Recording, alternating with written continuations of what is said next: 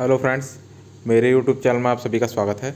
दोस्तों, आप सब लोगों की भारी डिमांड के वजह से हम लेकर आए हैं कक्षा नौ का जो पेपर है, स्वास्थ्य एवं शारीरिक शिक्षा, इसका पूरा का पूरा सॉल्यूशन विद आंसर। तो एक भी प्रश्न को आपको छोड़ना नहीं है, सभी प्रश्नों के उत्तर आपको बताए जाएँगे। तो वीडियो में अंत तक बने रहें, क्योंकि आपके लिए इतनी मेहनत की है। तो आपको चैनल को सब्सक्राइब करना है और अपने दोस्तों में भी शेयर करना है। और आप सभी को हमारा व्हाट्सअप नंबर पता ही है और ग्रुप में ज्वाइन होना है तो डिस्क्रिप्शन में लिंक दे रखा है। वहाँ से आप डायरेक्ट ज्वाइन हो सकते हैं। और हमारे चैनल को सब्सक्राइब कर लेना है। हमारे चैनल का नाम है बिगड़ जॉय एजुकेशन तो पहला क्वेश्चन है आपका, शारीरिक शिक्षा का लक्ष्य क्या है? तो शारीरिक शिक्षा का लक्ष्य है व्यक्ति का शारीरिक विकास। शारीरिक शिक्षा शरीर की शिक्षा तो व्यक्ति का शारीरिक विकास। नेक्स्ट है क्वेश्चन नंबर दो, बाल्यावस्था का काल है। तो दोस्तों, बाल्यावस्था का जो काल है, वो मुख्यतः माना जाता है दो से बारह वर्ष तक।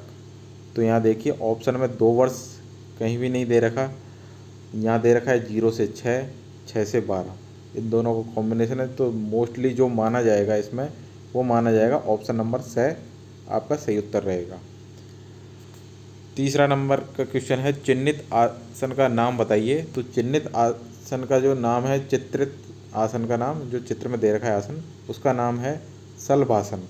क्या नाम है? सलभासन। चार नंबर क्वेश्चन है, आप अपनी शक्तियों का सर्वाधिक उपयोग कब कर सकते हैं? जब आपका तन अच्छा हो, जब आपका मन अच्छा हो, आप पूर्णतः स्वस्थ हों, आपके पास अधिक धन हो। तो इसका जो उत्तर रहेगा, वह रहेगा, आप पूर्णतः स्वस्थ हों।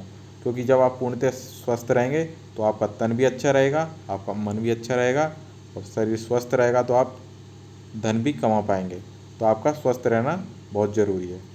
क्वेश्चन नंबर पाँच है, नींबू, आंवला, संतरा में कौन सा विटामिन पाया जाता है?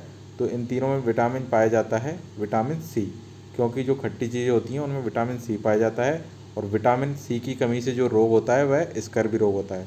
आपको सारे कनेक्शन बता दिए, आपसे पूछा जा सकता है विटामिन सी की कमी से कौन सा रोग होता है तो आपको पता होना चाहिए स्कर रोग होता है और नींबू, आंवला, संतरा में क्या पाया जाता है? विटामिन सी पाया जाता है और सूरज की जो रोशनी में पाया जाता है, वह क्या पाया जाता है? विटामिन डी पाया जाता है। आपको ये भी याद रखना है। नेक्स्ट है आपका क्वेश्चन नंबर छः आपकी उम्र तेरह वर्ष से उन्नीस वर्ष के बीच है। आप विकास की कौन सी अवस्था में हैं? तो हम हैं विकास की यौवनावस्था। हम यौवनावस्था के अंदर हैं। सात नंबर क्वेश्चन है, व्यायाम किसे कहते हैं? तो आपके लिए हमने क्वेश्चन लिखे हुए हैं, क्योंकि आप बोल रहे थे लॉन्ग क्वेश्चन के आंसर नहीं बताते लॉन्ग क्वेश्चन के आंसर नहीं बताते। तो ये देखिए, व्यायाम किसे कहते हैं? व्यायाम एक शारीरिक गतिविधि है जो स्वास्थ्य और फिटनेस को बढ़ाती है। लिख लीजिए आंसर। व्यायाम एक शारीरिक गतिविधि है जो स्वास्थ्य और फिटनेस को बढ़ाती है। आठ नंबर क्वेश्चन है, प्राणायाम से आप क्या समझते हैं?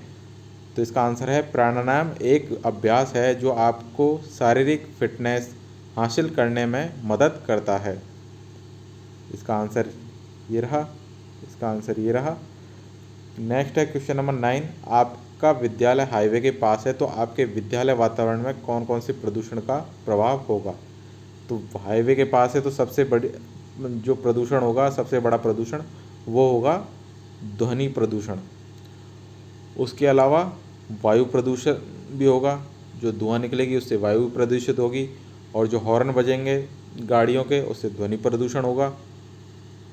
और वाहनों में कोई सवारी जा रही है, कोई भी वो कचरा फेंकेगी तो उससे भूमि प्रदूषण भी होगा। इस प्रकार ये प्रदूषण आपके होंगे। तो बढ़ते हैं दस नंबर क्वेश्चन की ओर। उससे पहले आपसे रिक्वेस्ट है कि जिन्होंने चैनल को सब्सक्राइब नहीं किया है, चैनल को सब्सक्राइब कर लें, नोटिफिकेशन बेल को ऑन कर लें, जिससे आपको हर वीडियो की अपडेट टाइम से मिल सके। अगर आपको वीडियो अच्छा लग रहा है तो वीडियो को शेयर करना ना भूलें। इसी तरीके से आपको वार्षिक परीक्षा में भी साथ बने रहेंगे हम तो आप भी साथ दें। नेक्स्ट है क्वेश्चन नंबर दस। दुर्घटना होने पर चिकित्सा सुविधा आने से पूर्व दुर्घटनाग्रस्त व्यक्ति को जो चिकित्सा दी जाती है, उसे क्या कहते हैं? तो उसे क्या कहते हैं हम? उसे कहते हैं हम प्राथमिक चिकित्सा। नेक्स्ट क्वेश्चन है, आपके भोजन में कौन कौन से तत्व होने चाहिए जिससे आप संतुलित भोजन कहते हैं? तो हमारे भोजन में क्या क्या होना चाहिए?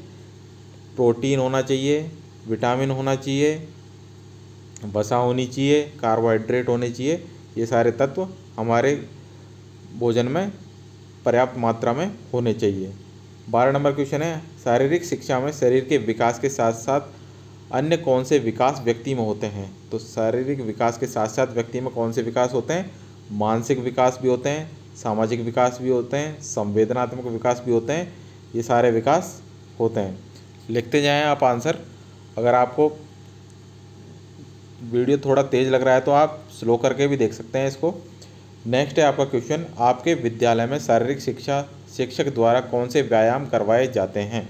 किन्हीं पाँच के नाम लिखिए। तो इसका जो आंसर रहेगा, वो आप सभी को बखूबी पता पता होगा, आपके स्कूल में आपके शिक्षक आपसे कौन कौन से व्यायाम करवाते हैं। आपसे सूर्य नमस्कार भी करवाते होंगे इसके अलावा कौन कौन से आसन हैं? वज्रासन, भुजंगासन, बाकी व्यायाम भी आपसे करवाते होंगे। तो आपको पाँच व्यायाम के नाम लिखने हैं। चौदह नंबर क्वेश्चन है, राजीव गांधी खेल ओलंपिक में कौन कौन से खेल शामिल थे? नाम लिखिए। तो उसमें शामिल थे kabaddi, cricket, volleyball, basketball, athletics, ऊँची कूद, लंबी कूद। नेक्स्ट क्वेश्चन है, क्वेश्चन नंबर पंद्रह। सामान्य रूप से आग से जलने पर आप किन किन उपचारों का प्रयोग करोगे? तो सबसे पहले हम क्या करेंगे? सबसे पहले हम, देखिए, वहाँ पर जगह नहीं है तो इसका आंसर हमने नीचे लिखा है। आप क्या करेंगे? हम करेंगे, आग लगने पर संयम से काम लेंगे। यदि आपके पास अग्निशामक यंत्र है तो आप उसे हैंडल करना चाहते हो तो उसे सक्रिय करें। आग बढ़ने पर अग्निशामक दल को बुलाने के लिए 101 या 112 नंबर डायल करें, किसी बड़ी बिल्डिंग या ऑफ़िस में आग में फंसे हों तो तुरंत फायर अलार्म सक्रिय करें। यह आपका उत्तर होना चाहिए। नेक्स्ट है आपका, अगर धन खो गया तो कुछ नहीं खोया, स्वास्थ्य खो गया तो सब कुछ खो दिया। स्पष्ट कीजिए। इसका मतलब यह है, अगर आपका स्वास्थ्य खराब हो गया, यानी कि आपके, आप बीमार पड़ गए तो आप धन भी नहीं कमा पाओगे, क्योंकि आपकी तबीयत खराब रहेगी, आप बिस्तर में पड़े रहोगे आप कुछ नहीं करोगे, ना खाओगे, पियोगे, उससे और तबीयत खराब होती चली जाएगी। आप दुबले पतले हो जाओगे और दुबले पतले हो जाओगे, कुछ खाओगे नहीं, शरीर, तबीयत खराब रहेगी तो आप धन तो कमाओगे नहीं क्योंकि आप कमाने जाओगे नहीं। नेक्स्ट है आपका लास्ट क्वेश्चन सत्रह नंबर क्वेश्चन चिन्हित दो आसनों के नाम बताकर इन्हें करने की विधि और फ़ायदे लिखिए। तो ये आपके हो गए सारे क्वेश्चन और उनके आंसर अगर आपको वीडियो वाकई में अच्छा लगा है तो वीडियो को लाइक करें, चैनल को सब्सक्राइब करें। और ये देखिए, दो क्वेश्चन और हैं। सॉरी, हमने नीचे देखा नहीं, दो क्वेश्चन और हैं।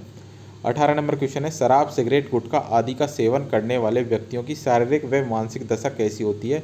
स्पष्ट करें और किस प्रकार इनका उपचार किया जा सकता है, सुझाव दें। आपने फ़ोटो देखे होंगे। और शरीर वो शरीर क्या?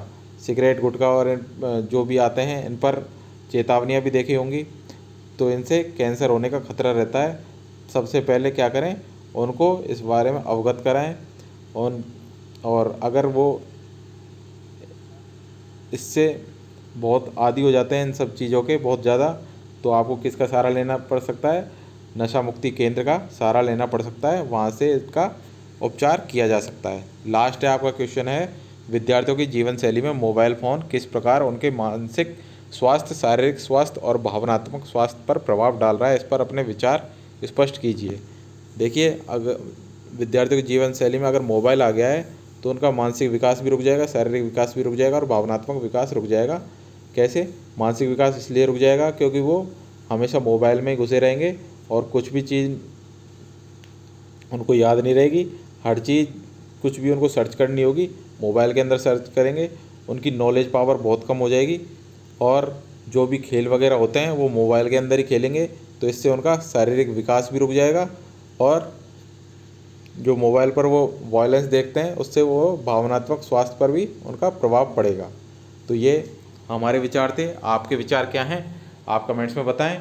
और वीडियो अच्छा लगा है तो वीडियो को लाइक करें, चैनल को सब्सक्राइब करें और ज़्यादा से ज़्यादा शेयर करें। ग्रुप से जुड़ना है हमारे व्हाट्सएप ग्रुप से तो डिस्क्रिप्शन में लिंक दे रखा है। चाहें और वहाँ से जुड़ें।